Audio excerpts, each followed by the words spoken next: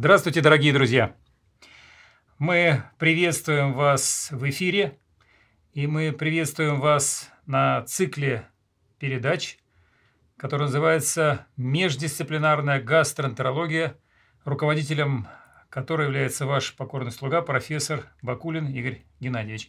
И сегодня у нас знаменательный день, у нас первый, первое такое, первая встреча, первое знакомство, если хотите, первая передача.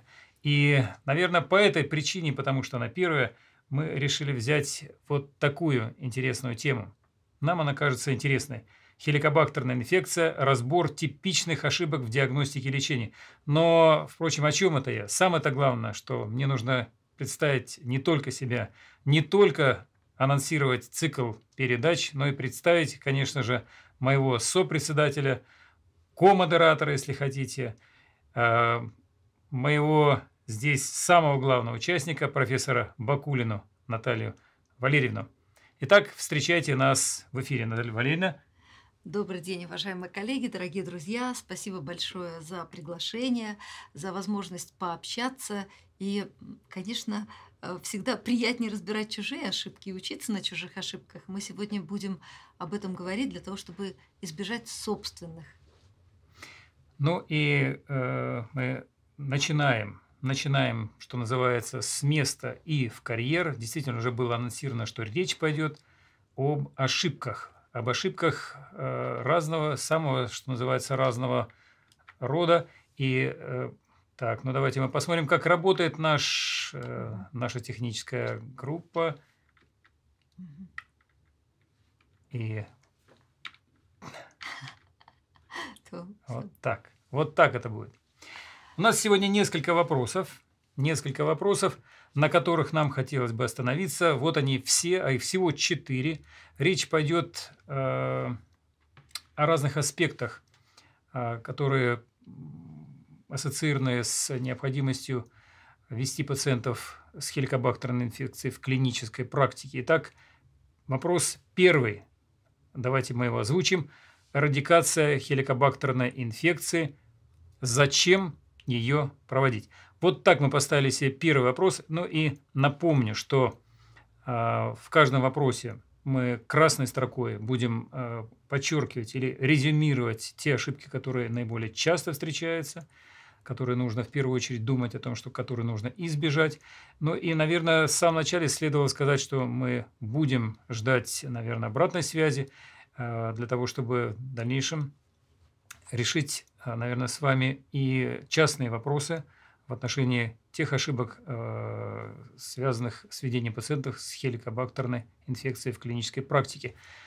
Наталья Валерьевна, что значит э, вот этот слайд? Он нас должен запугать канцер-регистр, глобальный канцер-регистр, или мы должны обратить в этом плане внимание на какие-то конкретные э, локализации онкопатологии? Дорогие друзья, уважаемый Игорь Геннадьевич, наверное, так как мы говорим об ошибках, самой, глав... самой главной ошибкой было бы сейчас задать вопрос, зачем проводить эрадикацию хеликобактерной инфекции с позиции 30-летней истории изучения этого вопроса. Конечно, наверное, уже время ушло этих вопросов. Зачем? Но если у кого-то еще остались вопросы, а мы, кстати, а, на каждых э, конференциях, на каждом новом цикле повышения квалификации обязательно задаем вопрос врачам, нужно проводить эрадикацию или нет, и зачем. И к сожалению, несмотря на то, что уже колоссальный опыт накоплен, некоторые позволяют себе сомневаться. И поэтому давайте посмотрим, к чему приводят такие сомнения. Перед вами э, глобальный регистр, Глобакан, Global Cancer Register, который ведет Всемирная организация здравоохранения, Общество по изучению рака. И Российская Федерация участвует в предоставлении данных в этот регистр, и мы с вами посмотрим сейчас фокус, что нас с вами интересует. Э, длительное время не обновлялись данные, и вот сейчас была выгружена в систему информация за 2022 год, и э, вы видите, что происходит в России. Итак, спасибо большое, Игорь Геннадьевич. Я думаю, что вы мне будете помогать. Если взять нашу популяцию по заболеваемости за 2022 год, вы видите, что рак желудка находится на пятом месте. И это много, уважаемые коллеги. 38 тысяч новых случаев. И посмотрите, какая высокая летальность. Да, то есть практически, ну не знаю, посчитать 60% пациентов умирают. Почему в России умирает от рака желудка? Первое, мы своевременно не производим диагностику хеликобактерной инфекции. Второе, даже получив результат э, положительный на хеликобактер пилори, сомневаемся, лечить или не лечить. Ну и, наверное, третье, поздняя выявляемость самого рака. То есть пятое место по распространенности в России и да, третье, по... место, третье место по смертности. Да. И если посмотреть э, частоту заболеваемости раком мужчин и женщин, конечно, это разное. Ну и требуется, наверное, пояснение, что у мужчин на первом месте рак легких и простаты, а у женщин на первом месте рак молочной железы, колоректальный рак, ну и все другие раки, а, как представлено на этой диаграмме, уже встречаются в меньшей степени, но достаточно часто. Ну и вот такая неутешительная карта заболеваемость раком желудка и смертность от рака желудка в Российской Федерации. Вы видите с правой стороны вот такое пылающее красное э, огниво, да, это неблагоприятная ситуация по раку желудка в нашей стране. Много, к сожалению, много людей умирает от рака желудка и заболевают раком желудка. Синее окрашивание в виде темно-синее, то есть уже, ну, хочется сказать, хуже некуда. Да? И, наверное, люди, которые сейчас заболевают и умирают раком желудка, это в какой-то степени наша с вами вина, поздняя диагностика и слишком много сомнений в отношении того, верить или не верить проблему хеликобактерной инфекции. И вот это прогнозы, прогнозы а, Международного агентства по изучению рака, Всемирной организации здравоохранения по Российской Федерации, они неутешительные. Но мы же с вами для того и собрались здесь, в этой аудитории, для того, чтобы бороться, ну, я даже не побоюсь слова, такого невежества в отношении э, антихеликобактерщиков. Да? И давайте мы сделаем так, чтобы все ошиблись. И цифры по заболеваемости и смертности от рака желудка в 2040 году в России были гораздо лучше, то есть меньше. Это вот такой был прогноз на 40 год. Но ну, у нас действительно есть антихеликобактерщики, у нас были антиковидники, как угодно их можно называть, но статистика говорит сама за себя. И вот от России мы сейчас спустились немножко сюда в э, Северо-Западный федеральный округ и тоже смотрим э, рак желудка. Это уже данные не Глобакан, а данные нашего главного онколога, академика Каприна. И здесь мы видим, что э, помимо того, что э, есть сравнительные данные России, Северо-Западный федеральный округ, и каждый из регионов или субъектов, э, субъектов э, Северо-Западного федерального округа. Но на что здесь хотелось бы обратить внимание? Посмотрите, выявляемость на третьей, четвертой стадии рака желудка. Вот что нас должно беспокоить. Как вы видите, третья, четвертая стадия, просуммируя это почти 50%, а в некоторых в некоторых регионах это даже и 60%. И отсюда, обратите внимание, летальность уже на первом году от 40 до почти 60%. На первом году уже ничего нельзя сделать. Я думаю, что эти аргументы должны всех, всю аудиторию, которая сегодня с нами, э, все-таки э, аргументированно убедить необходимости что-то делать в отношении рака желудка. Речь идет, конечно же, не только об онкоскрининге, но и об э, онко, онкопрофилактике. Уважаемые коллеги, э, разрешите представить вам собственные данные. Проблемы хеликобактерной инфекции мы начали заниматься достаточно давно, может быть, даже в числе одних из первых э, ученых в России. И с 2015 года мы ведем базу данных пациентам по результатам С13 э, уреазного дыхательного теста. Мы еще о нем поговорим, э, о том, что это референс на сегодняшний день в диагностике хеликобактерной инфекции. Что же мы видим? В 2015 году половина обследованных людей э, были инфицированы хеликобактерной инфекцией. И это э, большие данные. Посмотрите, какое количество пациентов мы обследовали. И, конечно же, сейчас положительный тренд. Уменьшается количество инфицированных людей. По нашим данным, в 2023 году э, в Санкт-Петербурге число инфицированных было 32,7%. То есть тренд положительный. Все-таки мы достучались, мы работаем, и есть шанс у нас с вами справиться с теми негативными тенденциями, их преодолеть. Итак, э, вы видите динамику распространенности по результатам более чем 50 тысяч обследованных пациентов. Ну, и... Вот сделали такой резкий переход от рака желудка к хеликобактерной инфекции. Наверное, всем станет сейчас понятно, кто, куда мы приведем. То есть речь идет о том, что абсолютно четкая связь хеликобактерной инфекции и рака желудка. Сейчас попробуем это доказать. И, конечно, уважаемые коллеги, ведь э, хеликобактер пилори – это канцероген первого класса, абсолютно доказанный канцероген. И на сегодняшний день, в общем-то, уже прекратили даже спорить, нужно проводить эрадикацию или нет, и мы это покажем на консенсусных документах. И еще одно очень интересное исследование, которое мы выполнили в Гачинской а, больнице, это Ленинградская область.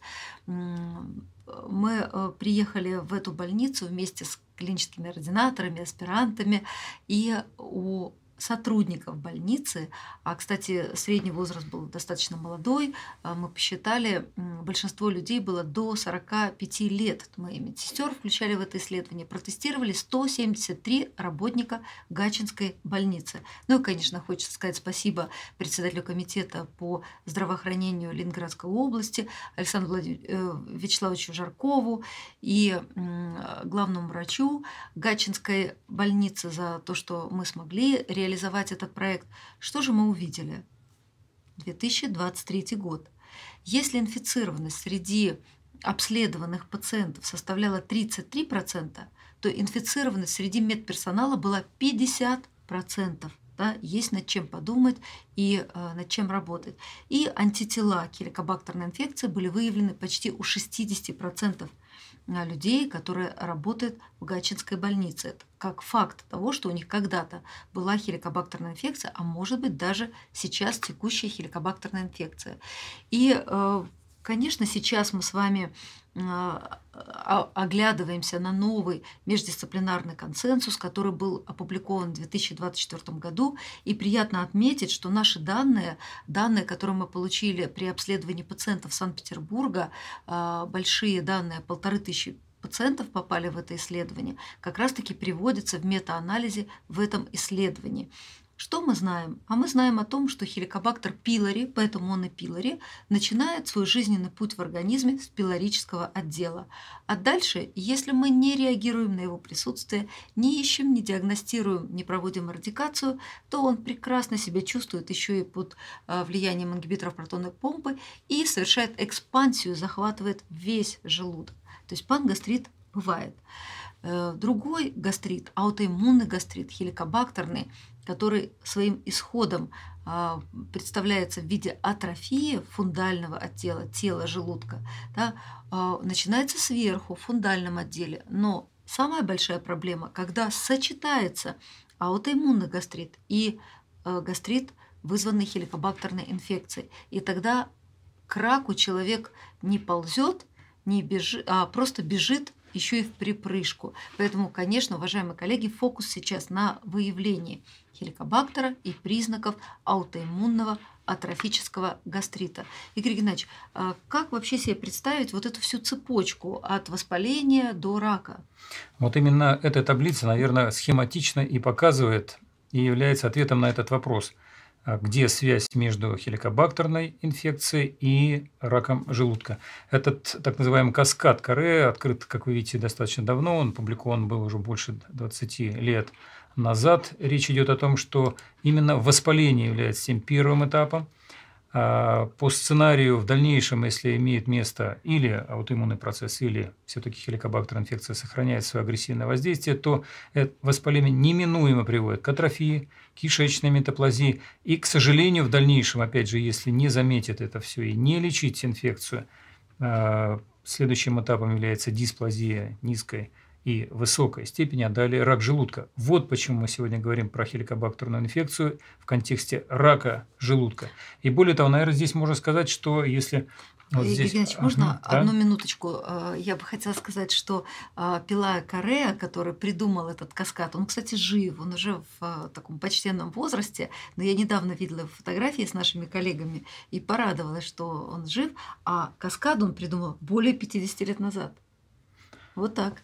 И да, тогда еще ничего не знали о хеликобактере. В прошлом, еще в прошлом веке. Но вот здесь мы не показали, но тем не менее хотелось бы сказать, что очень э, много вопросов и у пациентов, и у докторов различных специальностей является вопрос, а обратима ли атрофия, обратимы ли явление кишечной метаплазии или то состояние, или тот гастрит, который сопровождается вот этими проявлениями, в том числе дисплазии. Здесь, может быть, немножко забегая вперед, но Сказать хотелось бы одно, что вот как раз когда стадия атрофии, кишечной метаплазии, тем более, когда еще есть только воспаление и минимальные проявления атрофии, то это тогда, когда это как раз те этапы, которые возможны с точки зрения фармакотерапии, обратимы.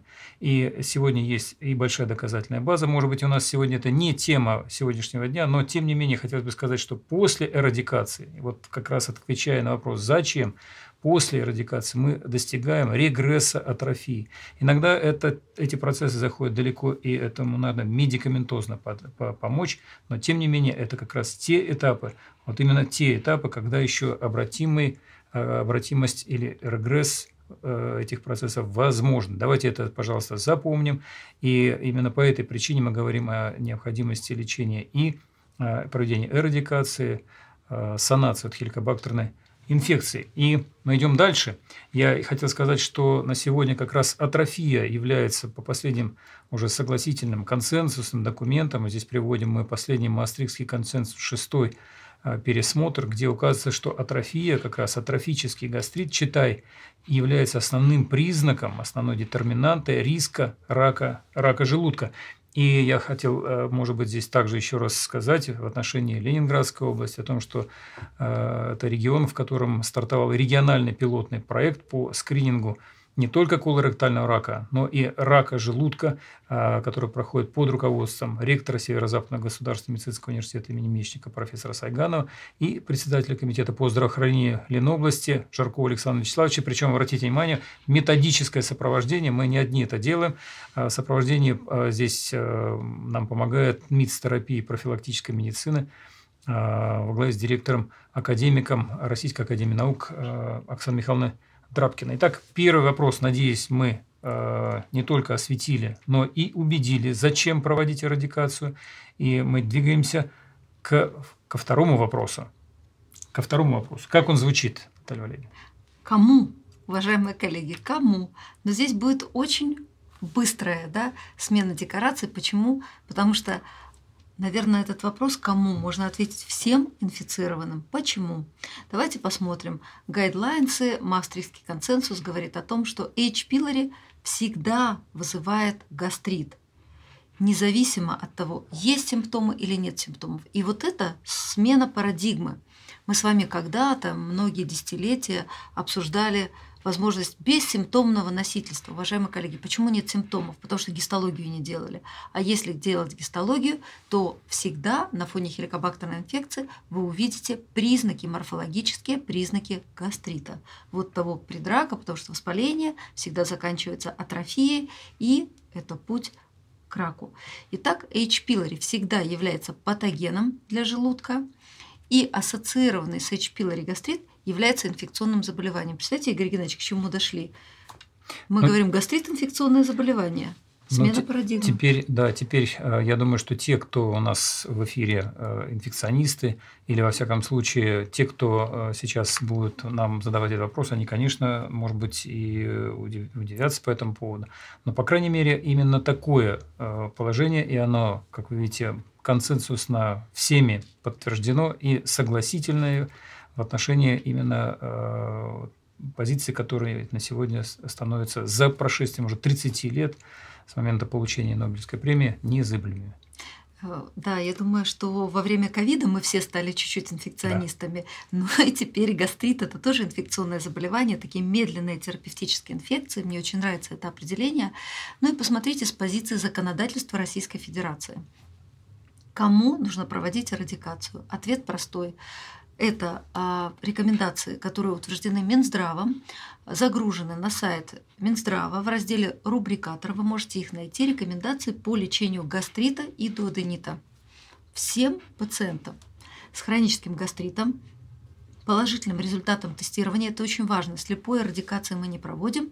В качестве этиологического лечения рекомендовано проведение эрадикации хеликобактер пилори. Высокий уровень доказательности. Ну и на вопрос, кому? Всем с язвенной болезнью, обострением ремиссии, необследованной диспепсией при наличии хеликобактер пилори, прием ацетилсалициловой кислоты, НПВП, длительный прием ингибиторов протонной помпы, HP-ассоциированный гастрит, ранний рак, мальт-лимфома желудка в качестве начального курса терапии. Всегда эрадикация уменьшит воспаление, возможно, а, уменьшить степень выраженности атрофии, ну и проблемы, конечно, на этапе кишечной метаплазии и дисплазии. Вот здесь мы уже опоздали что-либо сделать, но все равно показана эрадикация хеликобактерной инфекции. Ну что, я в свою очередь тоже хотел бы, наверное, здесь э, еще раз резюмировать, что все пациенты с HP-инфекцией, все пациенты, повторю, считаются пациентами априори с хеликобактерным гастритом. И, как мы видим, здесь в рубрике черным по белому написано, что все пациенты с хеликобактерным гастритом должны проводить, должны а, проходить эрадикацию.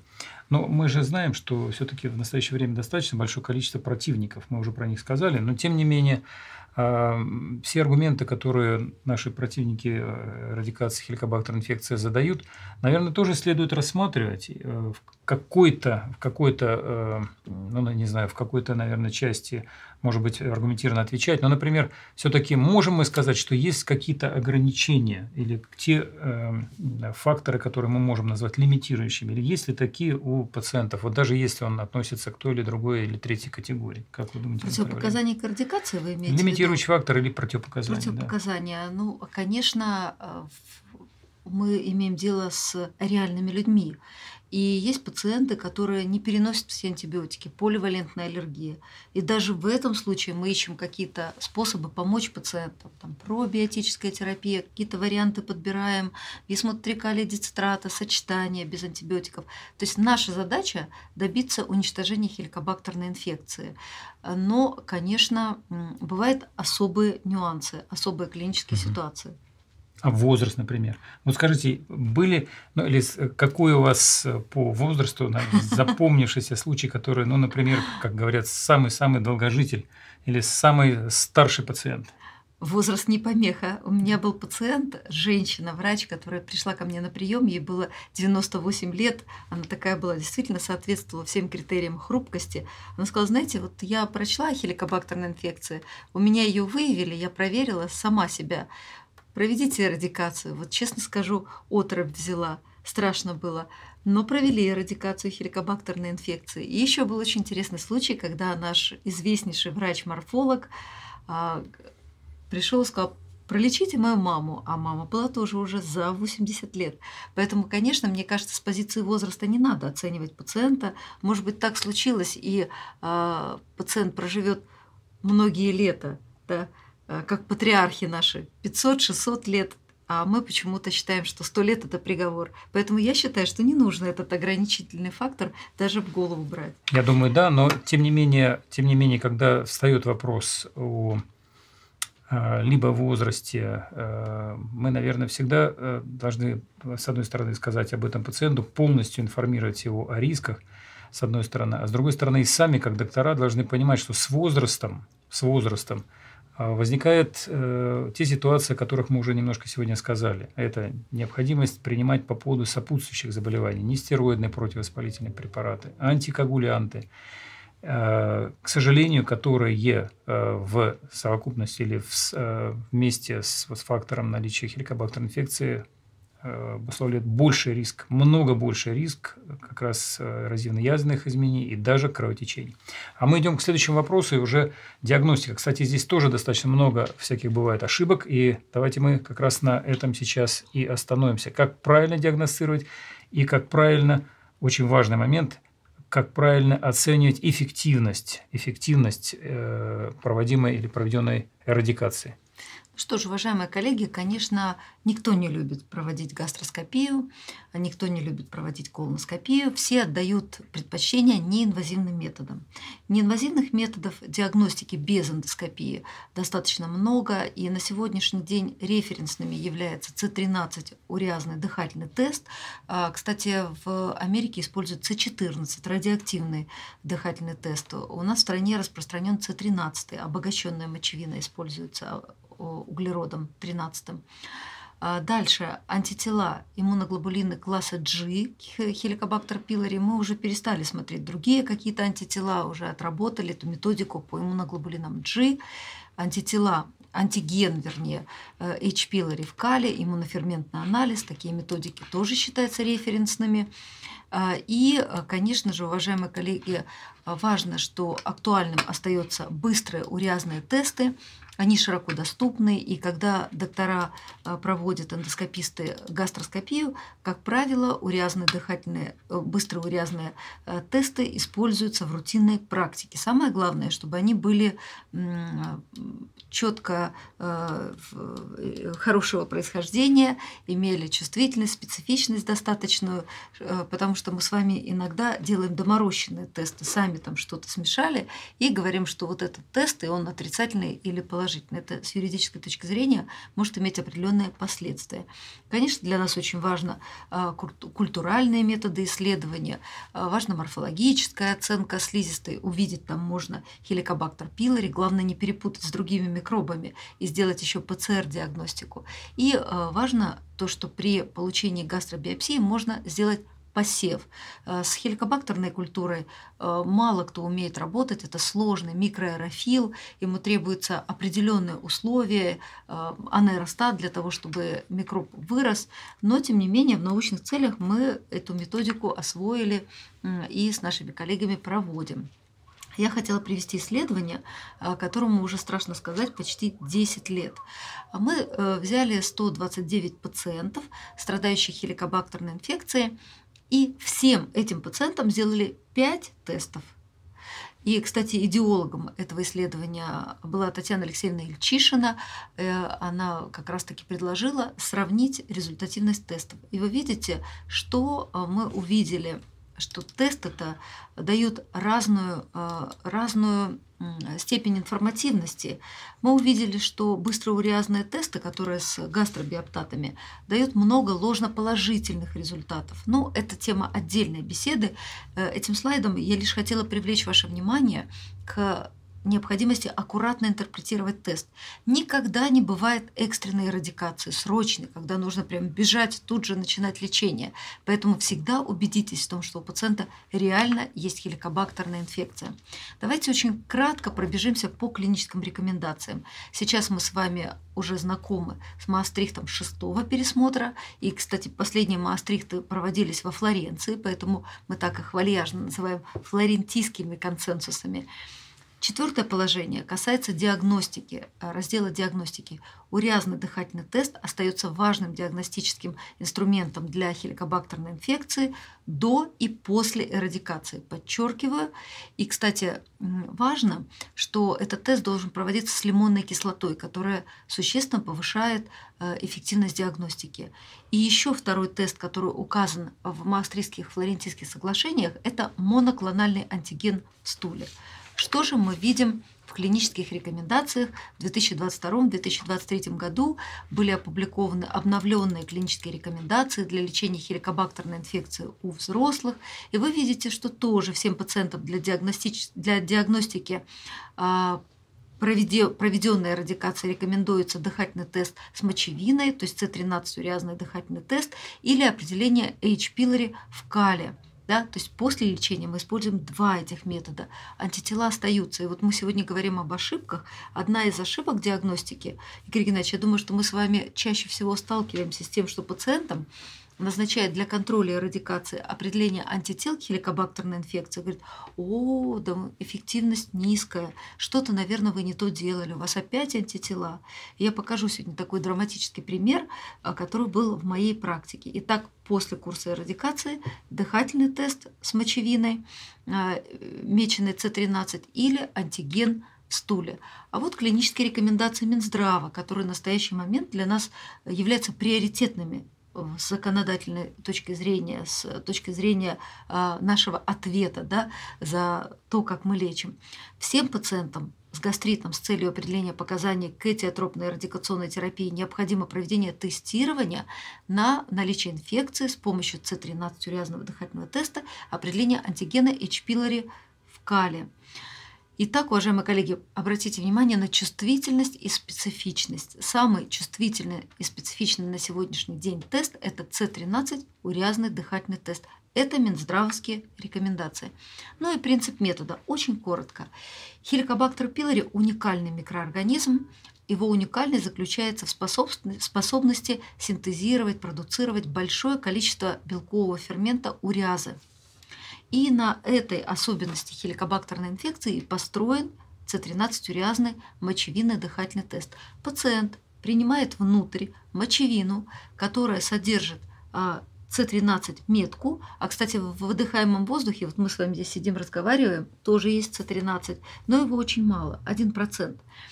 Если у пациента есть хеликобактерная инфекция, а, которая вырабатывает уриазу. Это очень важно, чтобы она была активная, да, не подавленная ингибиторами, не подавленная антибиотиками. Тогда принятая внутрь мочевина расщепляется и образуется СО2, но только СО2 углерод-то меченый, с С13 он обогащенный, он не радиоактивный. Кстати, детей можно даже беременных обследовать, ну, по большому счету.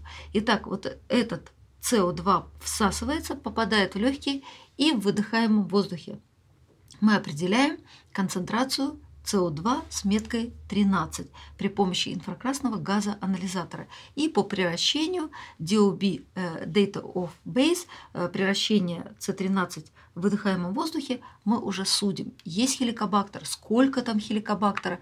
Это очень важно. Еще раз хочу подчеркнуть, что для контроля эрадикации нужно использовать дыхательный тест с С13 мочевина или антиген H. pylori кале. Ну или если проводится гастроскопия и соблюдены все необходимые э, предосторожности для того, чтобы не получить ложно отрицательный результат, можно э, использовать различные эндоскопические методики с быстрым уриазным тестом. Игорь Геннадьевич, вам слово передаю.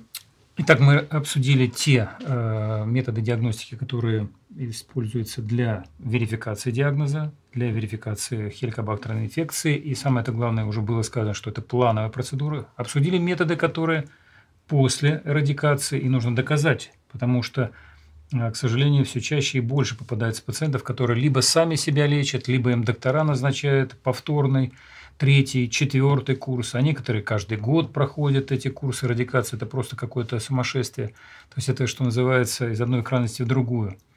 А, так вот, методы мы определили, которые являются референсными для оценки эффективности радикации. Ну, а ведь мы проговорили и сказали про атрофию. А, раз хеликобактер внес свой а, негативный вклад – даже когда он уходит, к сожалению, стадия атрофии может далеко быть зашедшая. И вот здесь мы как раз буквально несколько слов хотели сказать о том, что при гастроскопии, если она выполнялась, можно сделать э, биопсию. Биопсия выполняется по системе OLGA, по Ольга, мы так или по Олга, как мы ее называем, для оценки э, степени воспаления или в стадии атрофии важный этот момент. Но э, ведь не всегда делают гастроскопию. И более того, если выявлена атрофия, то не будешь э, это делать каждый месяц или каждые два или три. Поэтому на сегодня обсуждается вопрос возможности выполнения так называемых серологических э, методов или серологической, серологических маркеров атрофии, к которым относятся пипсиноген-1, пипсиноген-2 и гастрин-17. Я вот здесь как раз хотел показать, что они, кстати, вошли в клинические рекомендации. А здесь я хотел показать, что мы в своем э, исследовании, которое э, было фрагментом того пилотного проекта, о котором было сказано ранее, мы попытались доказать, что э, вот как раз эти серологические маркеры атрофии, они не только ценными могут быть и эффективными, но они практически абсолютно один в один сопоставимы с морфологической диагностикой. Здесь было 1700 5 пациентов, жители Санкт-Петербурга, Ленобласти, которые в профосмотрах участвовали, которым мы сделали, выполнили эти маркеры атрофии, то есть еще раз анализ крови на пепсиноген 1, 2 и гастрин 17, и мы нашли 90 э, с лишним человек, у которых 93, если быть э, точным, у которых эти маркеры указывали на наличие атрофии. Предложили им выполнить гастроскопию, половина из них э, практически согласились, другие отказались, так тоже бывает. Так вот, всем тем, кому мы сделали, мы можем видеть, что вот здесь э, у 98%, то есть только у одного Э, атрофия не подтвердилась, а так все э, те признаки, которые мы подтвердили с помощью морфологического исследования. Это вот первый вывод нашего исследования. А второй вывод – это то, что с помощью этого вывода мы э, смогли показать, как, как часто или какова частота распространенности атрофического гастрита, вклад, который основной вносит хеликобактерные инфекции. Мы увидели, что это 5,3% Э, на 100 тысяч э, человек. И еще один момент, наверное, который хотел сказать, или который наше исследование позволило сделать вывод, то, что э, атрофический гастрит, по нашим представлениям, это возраст ассоциированное заболевание, к этому надо тоже быть готовым. Мы видим, что в возрасте 60 лет и плюс в два с половиной раза Э, риски атрофии больше, чем э, в возрасте, соответственно, 45-59 и в, э, почти в 7 с лишним раз больше, чем в возрасте 18-44. Итак, мы делаем или мы планируем, что у пациента после радикации необходимо выполнить тесты или морфологическое исследование, или серологические исследования, подтверждающие или исключающие атрофию. И это будет следующий, наверное, наш вопрос в отношении того, что с этим тогда пациентами делать. Мы три вопроса уже ответили, и нам остался один вопрос, и немного, кстати, времени. Все-таки по поводу эрадикации. Раз э, мы сказали кому, мы сказали, э, как диагностировать, выделили фокус-группу, кому нужно проводить эрадикационную терапию, э, тогда как это правильно сделать? И здесь тоже достаточно большое количество ошибок. Давайте мы посмотрим, какие же все-таки ошибки могут быть. Уважаемые коллеги, такой пациент пришел ко мне на прием. А, молодой парень, 28 лет, диагноз хеликобактерный эрозивный гастрит. Как лечил гастроэнтеролог? И актовигином, и э, какими-то еще препаратами. И что меня поразило, антигельминтная терапия всем членам семьи. Ну, в общем, ничего из того, о чем мы будем дальше с вами да? говорить. Угу. Фитотерапия. То есть понятно, что э, вот этот молодой человек попал к антихеликобактерщику. Да, вот доктору не нравится эта тема по каким-то своим соображениям. И не важно, что есть рекомендация Минздрава, вот он считает, что так можно лечить. Но ошибка, скорее всего, здесь, надо сказать, является вот то невежество, о котором вы уже говорили. То есть э, не только, э, может быть, он и хотел проводить лечение, но он проводил абсолютно неграмотно, абсолютно потеря времени, э, извините, и финансов. Но это очень важно, что ведь мы верим своим докторам. Еще один пациент, и это бывает достаточно часто, когда пациенту врач на бегу, на лету, и, конечно, зачастую вот это... На таких клочках бумаги, да? На таких клочках бумаги, да, была выписана схема, пациент пришел домой, э, что-то понял, что-то нет, выписал себе как-то вот с правой стороны. Я ничего это не понимаю, например. Это пациент выписал, он так решил, угу. так он понял врача, и вот так он принимал.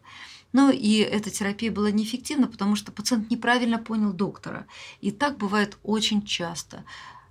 У нас нет времени донести свою мысль до пациента.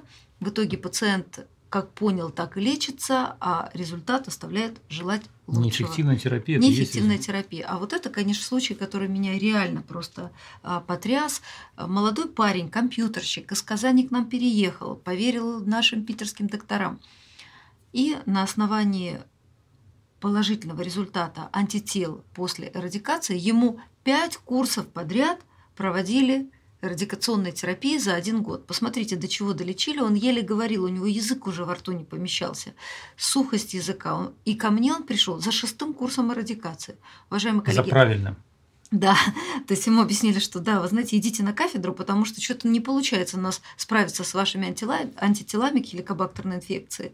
И вот, конечно, э, ну, такие случаи крайне редки, но вот тоже были в нашей практике. Так в итоге у него не было? Не было, конечно, хеликобактерной инфекции. Мы сделали С13 тест, у него не было хеликобактерной инфекции, а такой особенный иммунитет, антитела сохранялись.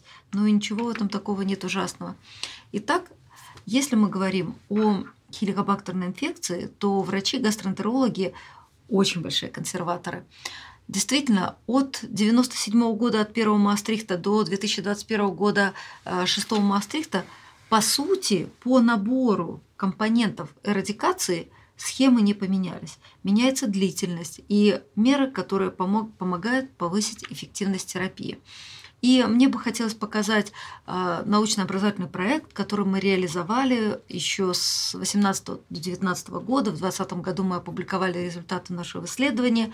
И приятно отметить, что э, идеологически этим проектом руководил Игорь Геннадьевич Бакулин и Дмитрий Станиславович Бордин. И проект был реализован в Москве, в Санкт-Петербурге, в Ленинградской области, Московской области.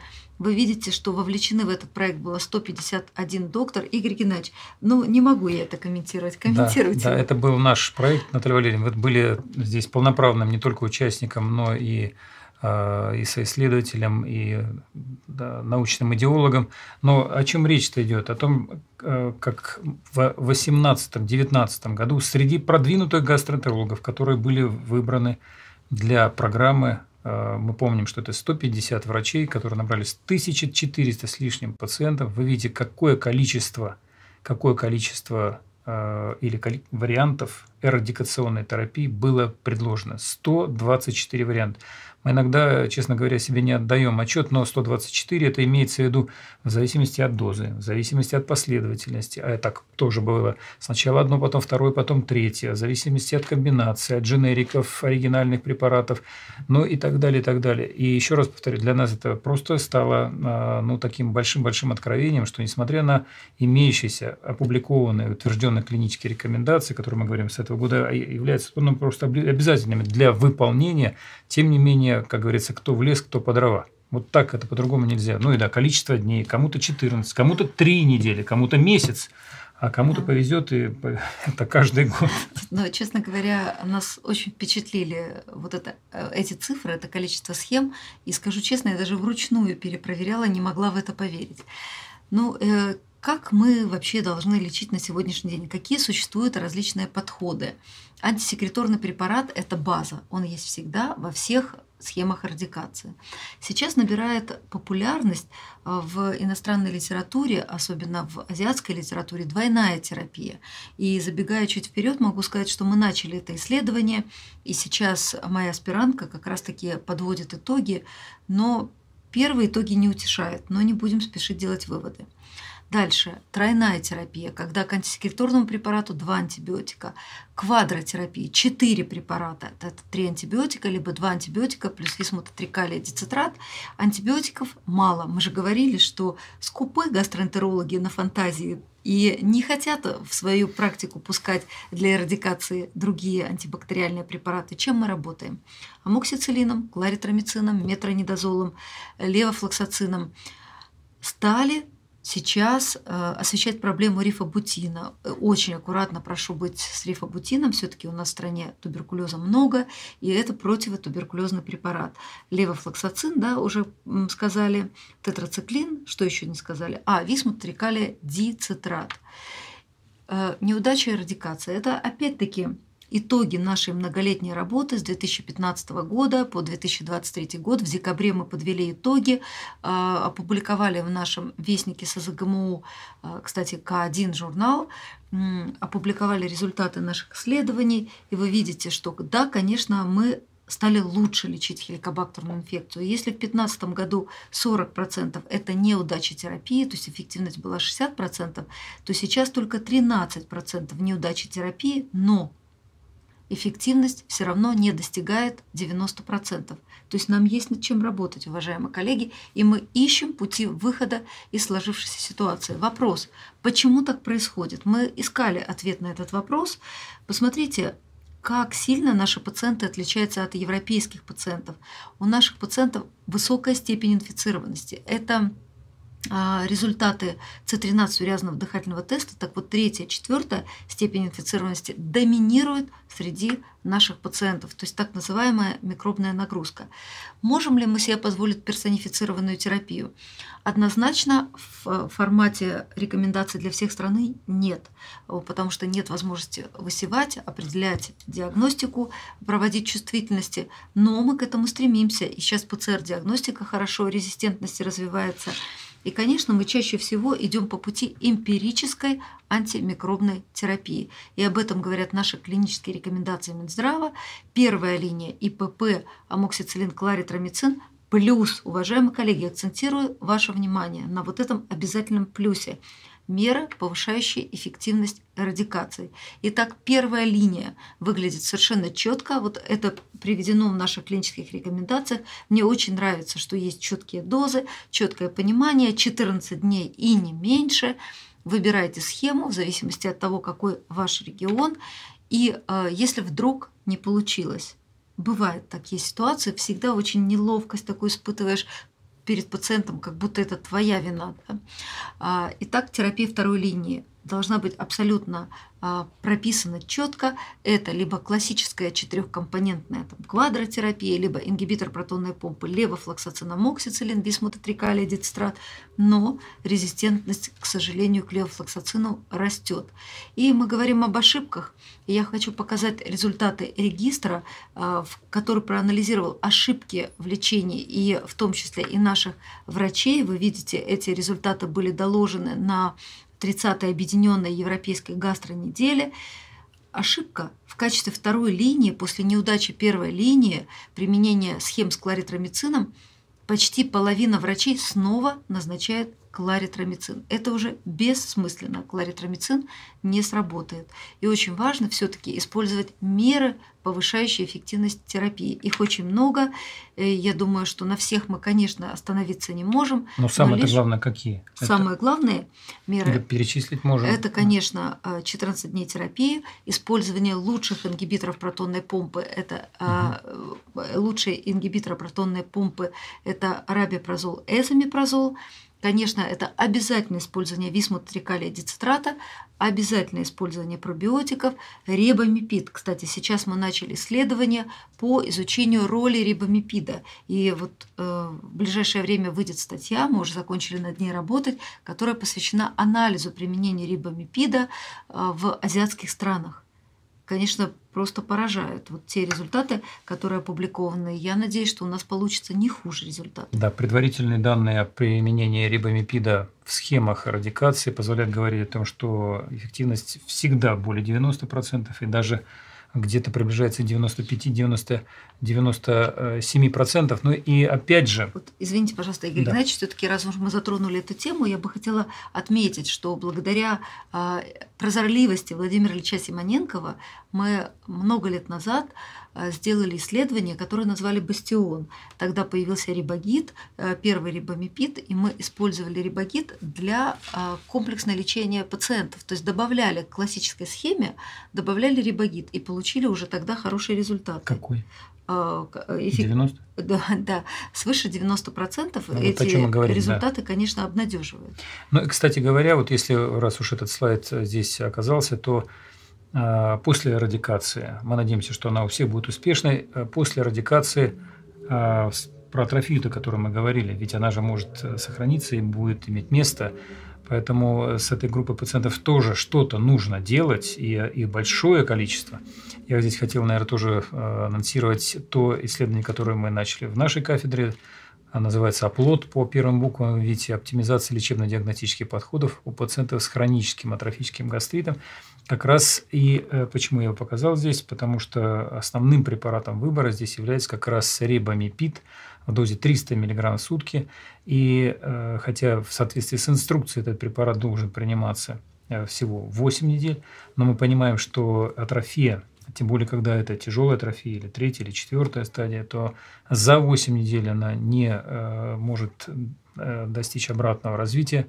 И в соответствии, в соответствии с нашими с нашими э, здесь как раз подходами, э, перед, пройдя процедуру этической экспертизы, мы, видя о том, что иностранные коллеги рекомендуют и уже опубликованы исследования в течение при, которые сопровождаются или исследования изучают эффективность в этом плане терапии рибомбидом в течение 12 месяцев и более, мы в этом исследовании как раз тоже позволили себе Э, вести таких пациентов с терапией э, рибамипидом длительностью 12 месяцев. Я надеюсь, что в ближайшее время у нас уже будут и предварительные результаты, потом окончательные, которые мы тоже с удовольствием будем докладывать.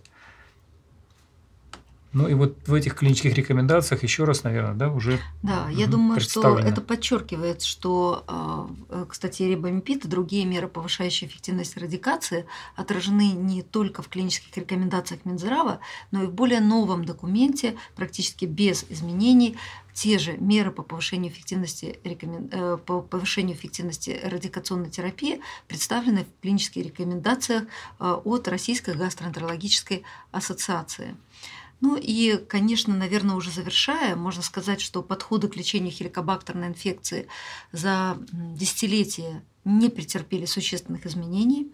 Самое главное, самое главное – это верить, верить э, в то, что мы можем э, улучшить прогноз пациента, справившись с хеликобактерной инфекцией, и успех лечения определяется правильной диагностикой – выбор рациональной схемы лечения, своевременностью диагностики и лечения. Ну и, конечно, нужно найти слова, чтобы мотивировать пациента. И в наших клинических рекомендациях, в конце рекомендаций Минздрава, есть даже а, памятка для пациентов. Ну, а вместо заключения мы позволили себе использовать вот такое, а, такую цитату из а, тех наверное, тезисов Махатма Ганди, который был идейным э, лидером индийской нации, даже так говорят, отцом нации. Грамм собственного опыта стоит дороже тонны чужих наставлений. Мы надеемся, что э, вот этот как раз э, опыт, собственный опыт, который мы приобретаем, имеется в виду, конечно же, клинический опыт, будет в дальнейшем дополнительным, дополнительным доказательным инструментом, который мы используем в своих в своей практической деятельности на основе э, клинических рекомендаций и так называемой доказательной медицины. Ну и, наверное, мы захотели, хотели бы закончить после всего этого таким вопросом, который является, наверное, квинтэссенцией нашего, нашего сегодняшнего э, вебинара э, и обращается ко всем нашим коллегам. Дорогие коллеги, а знаете ли вы свой хеликобактерный статус. Уважаемые друзья, уважаемые коллеги, мы заканчиваем наш первый, первый э, вебинар, первую передачу посвященной хеликобактерной инфекции, в рубрике цикла «Междисциплинарная гастроэнтерология». И э, как первый вебинар, но не как первый блин, он, конечно же, не стал комом. На наш взгляд, он прошел блестяще. Это стало, благодаря, это стало возможно благодаря гостю. Я-то, я-то, здесь, я-то здесь как руководитель, и я знаю, что аудитория всегда наша, с нами, она всегда, всегда э, не только лояльна, но и терпима. Но вот благодаря гостю блестящей и Наталье Валерьевне Бакулиной, благодаря ее профессионализму, она более 20 лет уже занимается хеликобактерной инфекцией, мы обогатились сегодня этими знаниями. Спасибо, что не сказали одержимости. Спасибо большое, уважаемые коллеги. Мы э, с удовольствием э, сейчас э, посвятим какое-то время для так называемой дискуссии и ответим на те вопросы, которые пришли в эфир. Давайте мы э, будем э, зачитывать эти вопросы для удобства, чтобы все воспринимали их правильно. Итак, добрый вечер. Расскажите, пожалуйста, нужно ли отменять ингибитор протонной помпы за две недели до сдачи кала на антиген?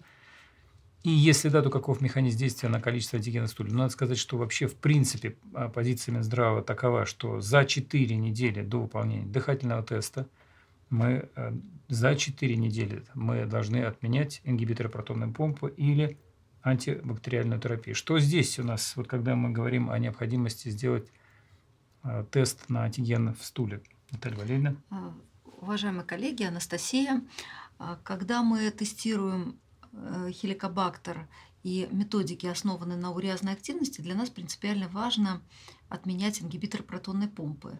А, мы говорим о том, что за две недели нужно отменить для того, чтобы уреазная активность хеликобактерной инфекции восстановилась и не получить ложно отрицательный результат.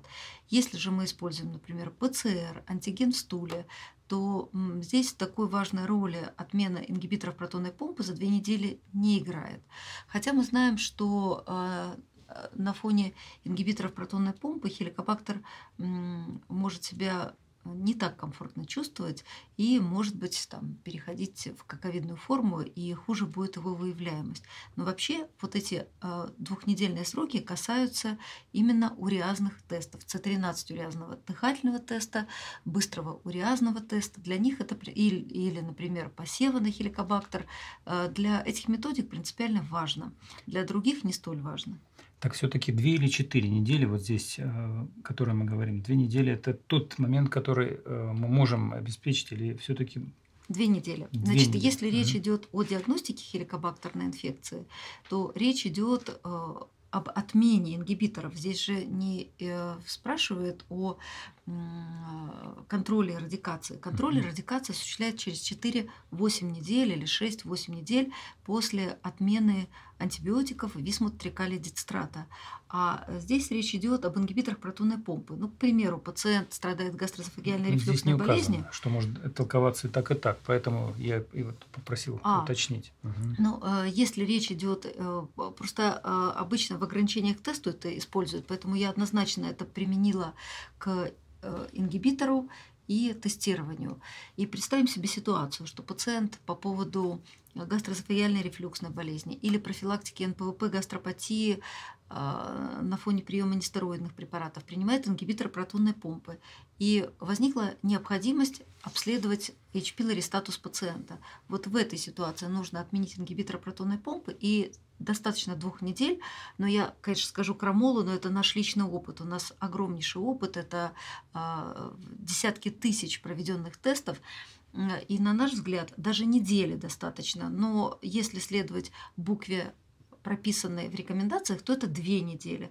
Но наш опыт показывал, что даже 7 дней достаточно для того, чтобы восстановилась уреазная активность хеликобактерной инфекции. Но не контроль радикации. Потом помним, что инфицированность нашего отечественного пациента, она много выше, поэтому, может быть, действительно по этой причине недостаточно. Евгения задает вопрос, по каким основным причинам пациенты не соблюдают назначенную схему лечения? Но на самом деле, я думаю, что э, те, кто сталкивался с такими пациентами, и проводил эрадикацию, могут сказать, что причин э, большое количество, начиная от того, что мы так вот на клочках бумаги, как это видено, э, видели, да, получаем рекомендации, и заканчивая тем, что у пациента есть непереносимость терапии, не переносить компонентов терапии, или, может быть, вдруг случайно кончились препараты, и схема была неполной, ну, скажем, по ингибитору протонной помпы, а эти вот купили, и вот в магазине не успели, уехали куда-то, не знаю, в лес, на отдых, на озеро, ну и так далее, и так далее. А, но самое главное, что мы должны на что, а, наверное, обратить внимание, это комплаентность. То есть мы не только должны написать, вернее, рассказать, но и написать да, еще и продублировать. Вот, кстати говоря, если мы все-таки заботимся о наших пациентах, согласны мы, Наталья Валерьевна, что, к сожалению, э, вот здесь кашу маслом не испортишь, это точно. Порой нужно э, через неделю попытаться выйти на связь, или пациент пусть бы хоть как-то смс вам отправил, что он понял, он проходит лечение. А очень часто бывает, что вроде и написал, и он понял, и ты вдруг спрашиваешь его через неделю, так какую вы терапию проходите? А он оказывается, каким-то образом взял и исказил. Да? Вот он подумал, что нужно не таблетку, не дозу, а таблетку, не таблетку, а упаковку и так далее. Поэтому лучше э, проверять и перепроверять вот таких, таких ситуациях. Ну, нам легко говорить, потому что у нас работают э, наши аспиранты, соискатели ученых степеней э, с этими пациентами. И, конечно, у них есть возможность в силу не такой загруженности, они занимаются только своей научной работой, контактировать с пациентом. Конечно, в практикующем здравоохранении очень сложно уделять столько времени конкретному пациенту, и мне кажется, что можно брошюры просто выдавать. Это и вот то, что решение, сделал да. Минздрав, да, вот да. эту брошюру для пациента, информация для пациента, это полстранички, но там все четко написано. И, кстати, вот э, эти кошмарики по поводу рака очень четко изложены изложены доступным языком. Ну что, идем следующий вопрос. Анастасия, какие сведения нужно, а, нужно указывать в направлении на эндоскопии по поводу хеликобактерной инфекции? Но, если честно, если взять меня, Наталья Валерьевна, я все-таки э, говорю о том, что нужно сделать, если мы говорим про э, хеликобактерную инфекцию, я все-таки предлагаю э, сделать биопсию не с помощью цитологического метода исследования, а с помощью морфологии. Помимо того, что целесообразно у этой же категории пациентов исходно брать и 5 э, биоптатов по системе OLG, это два из антрального, два из тела и один из угла желудка. Вот я так это делаю, а как вы? Э, я тоже считаю, что эндоскопия без биопсии это пустая, пустое исследование, пустое трата, пустая трата времени, и она не решает э, те задачи, которые мы перед ней ставим, не помогает нам правильно с морфологической точки зрения сформулировать диагноз, не дает нам дополнительной информации. Поэтому очень важно пациенту, э, когда мы даем рекомендации выполнить исследование, написать, вот так и пишу, а, выполнить биопсию. Иногда пишем выполнить э, биопсию из двенадцатиперстной кишки для исключения целиакии. Или ходила, да, да. нейроэндокринную опухоль вы э, ищете. Допустим, вы нашли на фоне хеликобактерной инфекции с атрофией высокий уровень хромогранина. И тогда вы напишете эндоскописту а, ваши подозрения, нейроэндокринная опухоль. И он уже будет знать, что нужно поискать и а, как, какое исследование выполнить. Ну и пользуясь случаем, наверное, все-таки стоит сказать, когда все-таки эндоскопист выполняет э, быстрый урезанный тест, я имею в виду цитологическое исследование, не понимая, может быть, того, что вы написали, имеется в виду, не, напи- не понимая того, что вы просили сделать э, гистологическое исследование, патоморфологическое на хеликобактер, то, к сожалению, это надо будет перепроверять. Да, ведь мы часто видим или ложноположительные, или ложноотрицательные.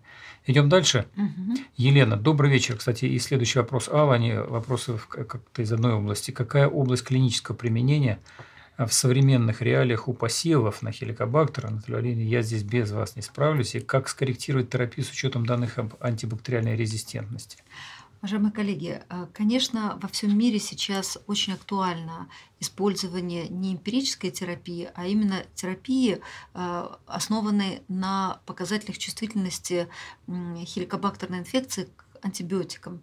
Но, если говорить честно, э, конечно, мы в основном используем бактериологические методы в, наук, в интересах науки, потому что работать с хеликобактером очень сложно. Метод э, дорогостоящий, э, эффективность, то есть пустые высевы, когда не удается выделить хеликобактерную инфекцию, это тоже не редкость.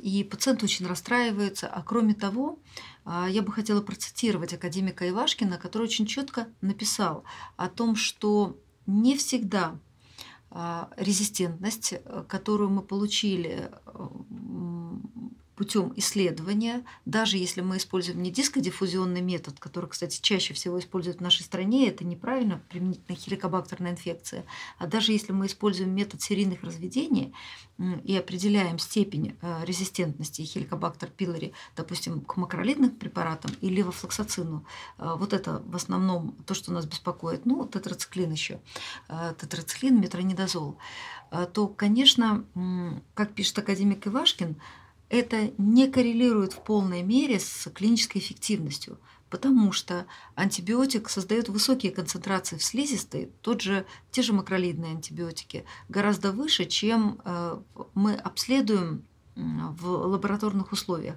Поэтому мне кажется, что этот метод все-таки в рутинную практику э, в нашей стране не попадет. Что будет э, взамен тестирования, это ПЦР-диагностика. И сейчас Дмитрий Станиславович Бордин очень много усилий прилагает к тому, чтобы ввести это в рутинную практику. Это будет дешевле, это будет э, быстрее э, и меньше проблем будет доставлять, э, потому что вероятность получения результата выше, чем при бактериологическом исследовании.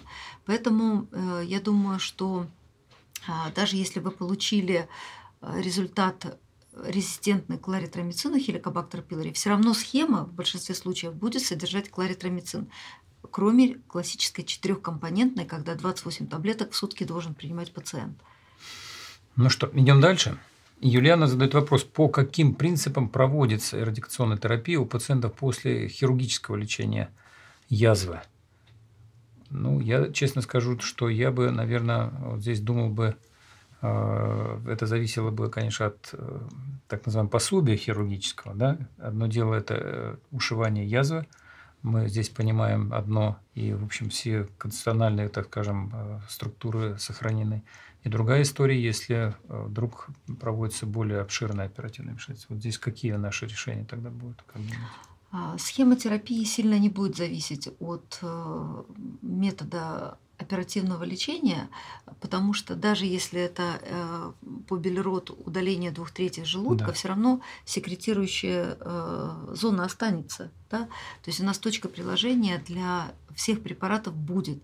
То есть здесь важно понять после операции, есть хеликобактер или нет, потому что а, после оперативного лечения, мы таких случаев видели много, происходит а, воспаление а, в области перехода желудка, вот это вот да? анастомоза, да, э, в том месте, где сшивает, формирует анастомоз, возникает анастомозит, и вот там, оттуда мы выделяем хеликобактерную инфекцию. Поэтому, конечно, нужно проводить эрадикацию по всем канонам есть схема не, э, не отличается. Меняется. Что, э, Томила, задает вопрос, что нужно учитывать в плане сочетания приема лекарств с приемами пищи.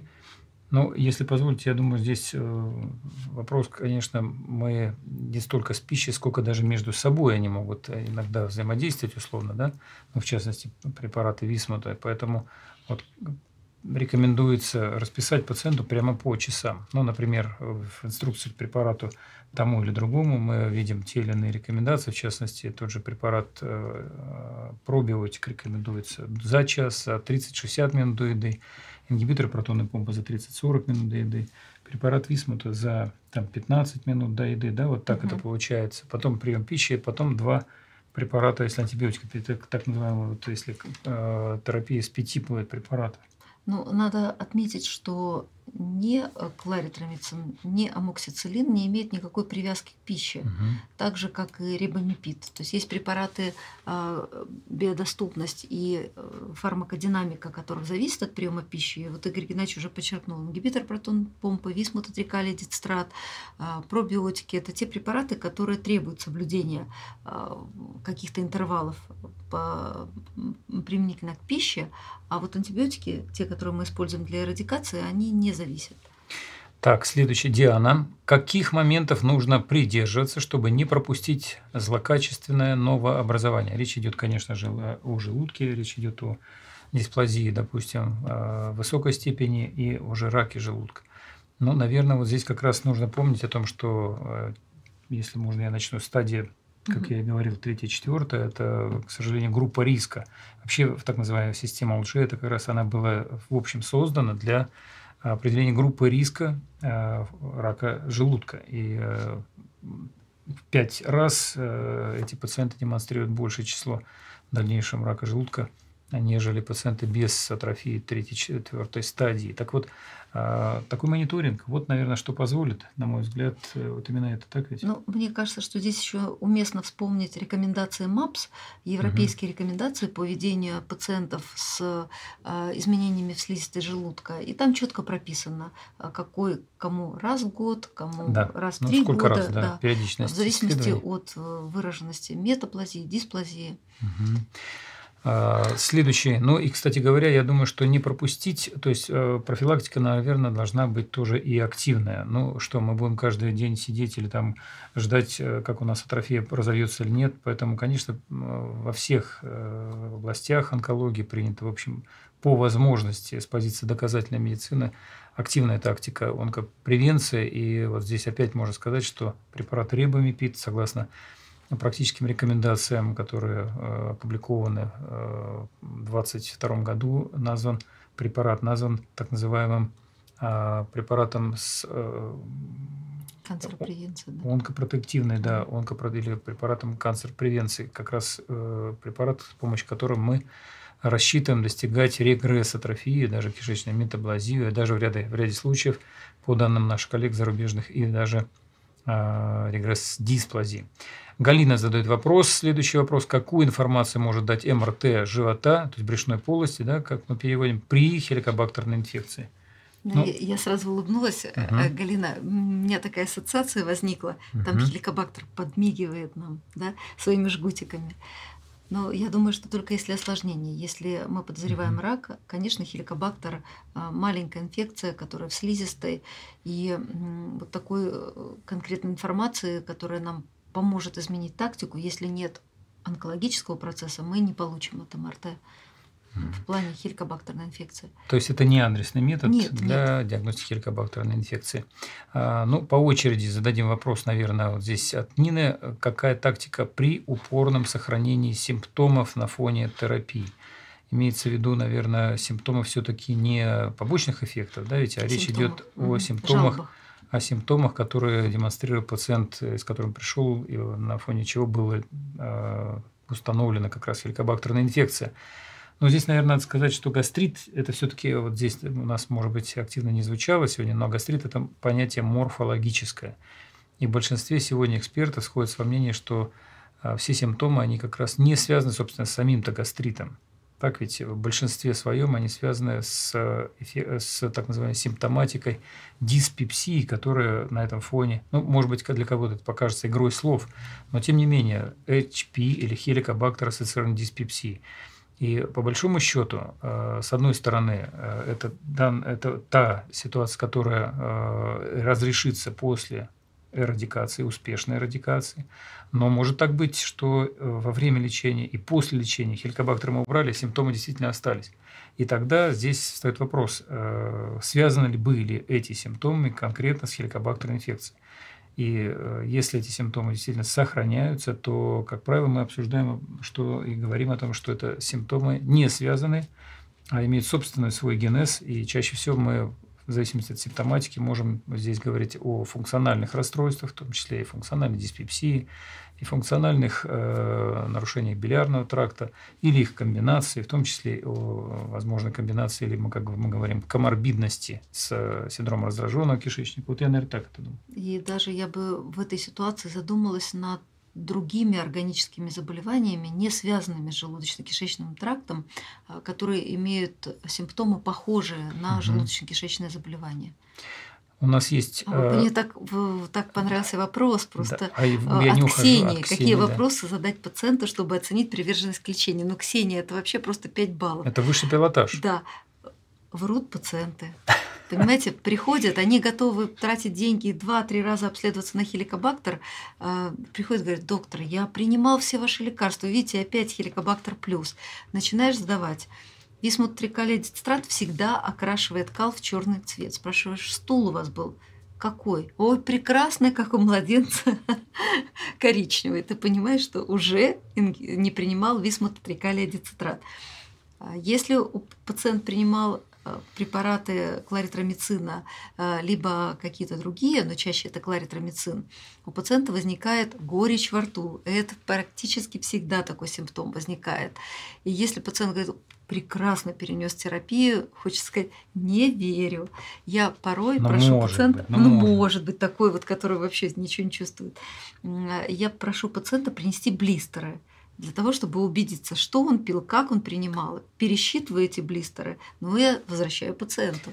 Да, у Натальи Валерьевны богатый опыт участия в клинических исследованиях, там, где блистеры, блистеры сдаются. Да. Поэтому это имеет две таких э, цели. Э, и, с одной стороны, сдать блистер, да, но и заодно и посчитать количество таблеток.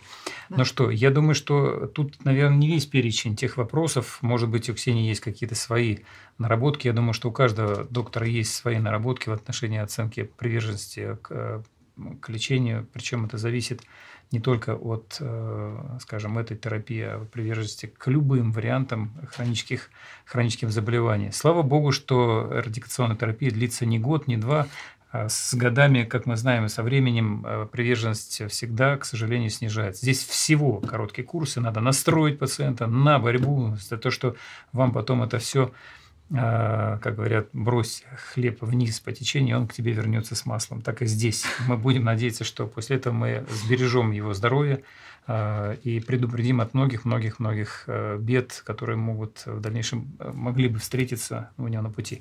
Уважаемые друзья, у нас вопросы все-таки все. Будет ли сохранена запись эфира традиционно все вебинары на Первом Мед ТВ э, сохраняются и будут э, выложены в соответствующих, соответствующих наверное, э, полочках и в, в, в архивах. Уважаемые коллеги, позвольте вас еще раз поблагодарить и за ваше внимание, и за ваши вопросы, благодарить за ваше внимание, за участие. И, конечно, я еще раз хотел сказать огромное спасибо нашему гостю, профессору Бакулиной Наталье Валерьевне. Она просто э, не только, я считаю, лучший, один из лучших специалистов в стране по данной проблеме. И все те, кто э, смогли найти время и услышать мнение Натальи Валерьевны по хеликобактерной инфекции, я думаю, что сегодня вооружены и знают, как бороться с этой, с этой, с, с этой бактерией, с этим заболеванием. Всего доброго, мы закончили. Спасибо, до свидания.